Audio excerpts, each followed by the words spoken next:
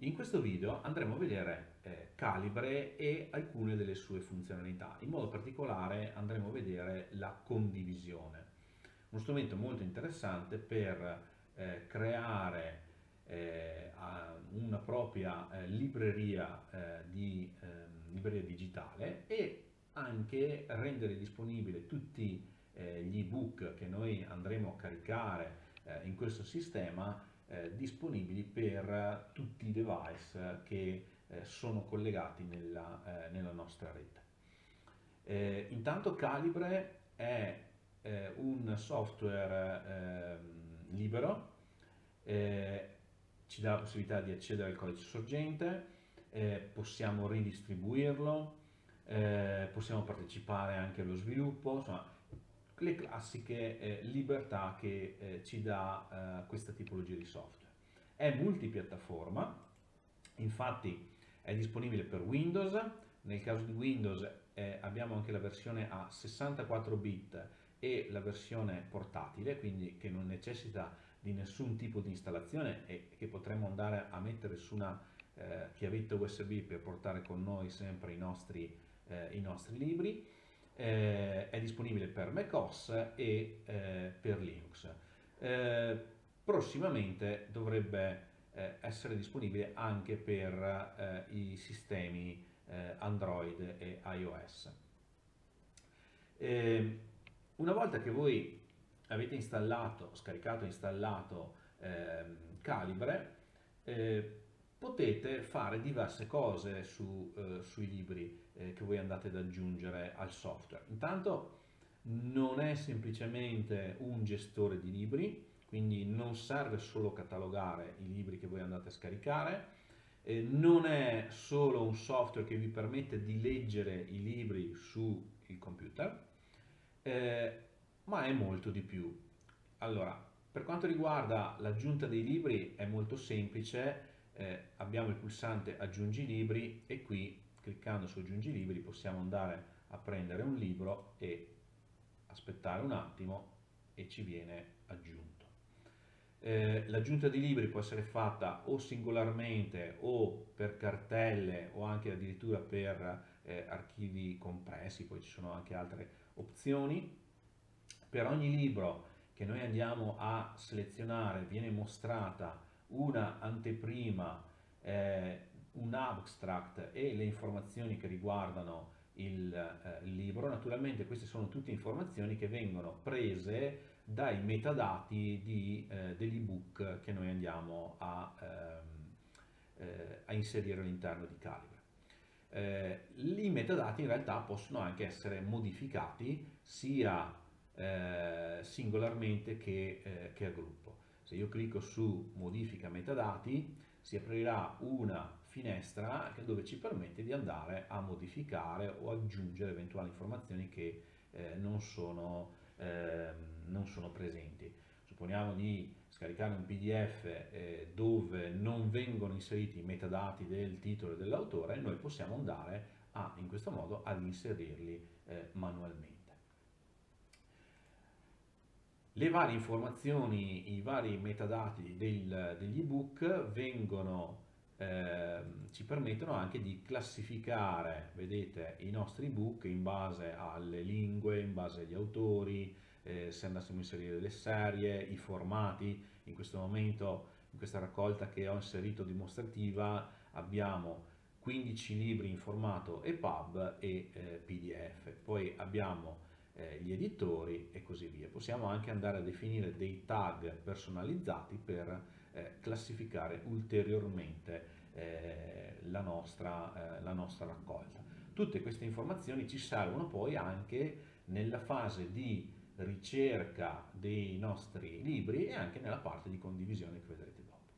Per quanto riguarda i formati è interessante il fatto che eh, noi possiamo scaricare un ebook eh, in formato come in questo caso EPUB, vedete, e posso andarlo a eh, convertire. Anche qui posso fare una conversione di gruppo andando a selezionare i vari libri che voglio eh, convertire oppure una conversione individuale. Nella conversione vedete che abbiamo il formato di input e il formato di output. Nel formato di output noi possiamo andare a scegliere uno dei formati supportati da, eh, da Calibre. Eh, avete ad esempio il formato di, di Amazon, abbiamo il DocX, eh, abbiamo il PDF, scegliamo il PDF, lasciamo tranquillamente le informazioni eh, di, ehm, di, metadati che già ci propone perché eh, è un EPUB con una serie di eh, metadati già inclusi, lasciamo pure l'abstract e semplicemente clicchiamo su eh, OK. A questo punto vediamo che qui sta lavorando, se noi facciamo un clic ci fa vedere cosa sta succedendo, quindi eh, ad esempio prima ho convertito quattro libri, eh, ci fa vedere cosa sta, eh, cosa sta succedendo, posso fermarli, posso andare a vedere i dettagli del lavoro e così via. Una volta che ha convertito eh, vedrete che comparirà oltre al formato EPUB che eh, avevamo prima, ehm, andiamo eh, ad avere anche l'altro formato. Eh, vedete che nelle informazioni qui c'è percorso, fai clic per aprire, faccio un clic, mi aprirà la cartella dove è contenuto il libro e qui vedete che effettivamente ho il eh, formato PDF che abbiamo appena creato e quello originale che abbiamo caricato in formato eh, EPUB. Possiamo anche leggere direttamente il libro da computer perché al suo interno c'è un eh, lettore, eh, un e-reader, attendiamo un attimo che vada eh, a caricarlo e, ehm, e qui poi con i pulsanti di scorrimento posso andare a leggermi il mio, eh, il mio libro. Okay? Se siete abituati a utilizzare un eh, e-reader, le funzionalità sostanzialmente sono, eh, sono le medesime. E altre cose, beh, come posso aggiungerli, posso eh, rimuovere eh, i libri, ho delle, ehm, la possibilità di creare più eh, librerie, quindi non solo la libreria che viene caricata, creata di default, ma posso creare ulteriori raccolte separate. Tutte queste informazioni poi le possiamo andare ad utilizzare per eh, condividere i nostri, i nostri libri. Se noi vedete che c'è eh, connetti alla cartella, mi permette di andare a connettermi con un'eventuale cartella dove ho la biblioteca, in questo caso dove ho tutti i libri salvati, in questo caso è già configurato, io posso cliccare su avvia server di contenuti.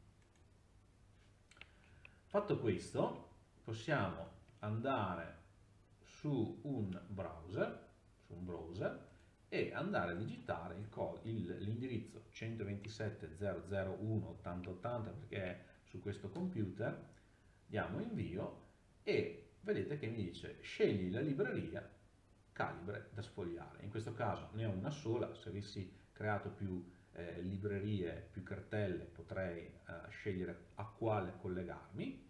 Clicco e vedete, ecco qui i nostri, eh, i nostri libri disponibili libri che possono essere letti eh, direttamente, eh, vedete che c'è un leggi, oppure possono essere anche scaricati. Nel caso in cui scegliamo di eh, scaricarli, il sistema eh, ci propone naturalmente il formato predefinito eh, di scaricamento che era l'EPUB. Nulla toglie che però posso cliccare sul PDF e vedete cosa succede, mi dice cosa vorresti fare con il formato PDF, leggerlo o scaricarlo, stessa cosa con, eh, con le pub.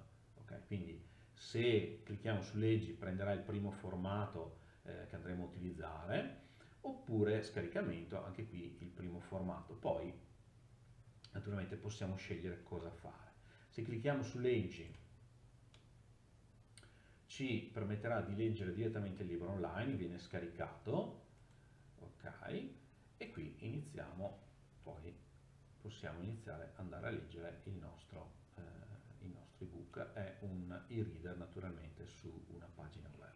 Premendo un ESC sulla tastiera ci dà la possibilità di eh, andare a vedere tutti i vari controlli che ci vengono resi disponibili ok quindi aumentare il carattere mettere un segnalibro eh, insomma, per fare delle ricerche, andare avanti e indietro, possiamo usare tranquillamente eh, pulsante, eh, i pulsanti freccia sulla, eh, sulla tastiera, vedete che possiamo tornare alla biblioteca oppure volendo potevamo tornare alla eh, pagina eh, principale. altre cose mh, che possiamo fare con questa con modalità di condivisione. Intanto fermiamo il server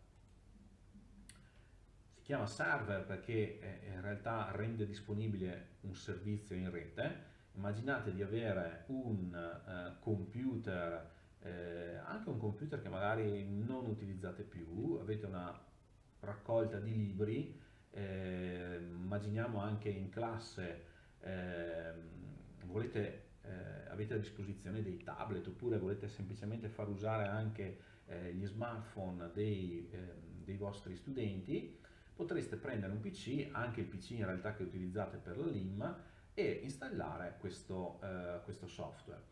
Ehm, caricare i libri e poi avviare, avviare il server. Eh, possiamo anche andare a definire, se noi andiamo in preferenze, possiamo anche andare a ehm, inserire dei, ehm, delle preferenze, delle, delle opzioni sulla condivisione eh, clicchiamo su condivisione sulla rete e vedete che qui abbiamo diverse, intanto abbiamo il start server che eh, avevamo semplicemente là nel connetti e condividi.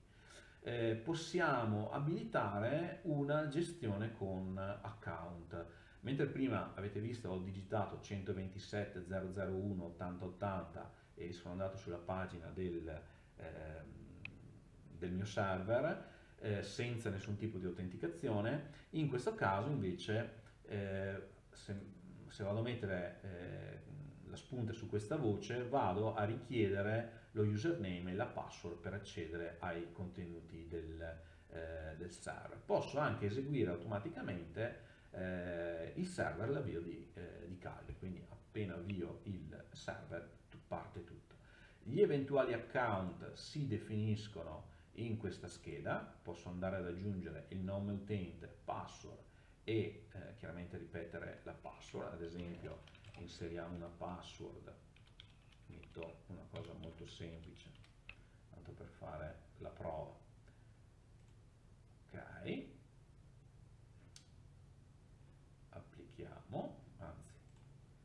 mettiamo richiedi, applica, naturalmente mi dice che è necessario avviare il server, ma noi il server non l'abbiamo ancora avviato. Facciamo avvia, è avviato, perfetto, andiamo sulla pagina, riavviamo, ecco qui, vedete che mi chiede l'utente, inseriamo la password